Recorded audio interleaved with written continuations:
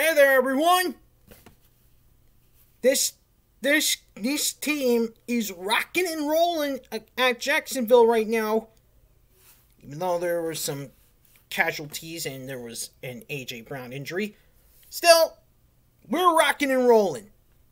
But I'm not here to talk about my team. No, no, no, no, no. I'm here to talk about the injury, the inactives report. Welcome to part two of the inactives report for the AFC South.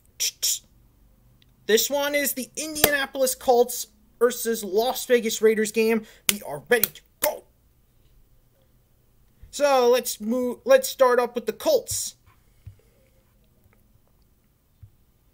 and their inactives.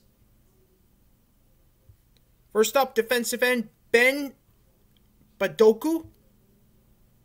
No, Ben Manoku is his name. Ben Manoku. Next up, quarterback Jacob Eason. Wide receiver DeMichael Harris. Tackle Will Holden, who, by the way, they picked up off the practice squad. Guess he's not ready yet. Wide receiver Desmond Pidden. No, it's Desmond Patton. Sorry about that. Patmon. And their punter,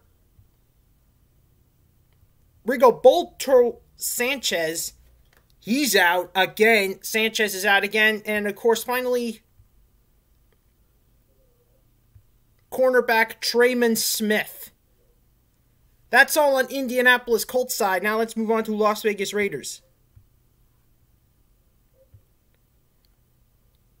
Here's the reason why Marcus Mariota is making his backup debut for Las Vegas. Nathan, quarterback Nathan Peterman is out. That will allow Marcus Mariota to back up for Derek Carr today. Also out, cornerback Damon Arnette, running back Theo Riddick, tackle Brandon Parker, guard John Simpson, and edge Carl ne- Carl Nassib. And that's pretty much all the injuries. I got to get back to cheering for my Tennessee Titans.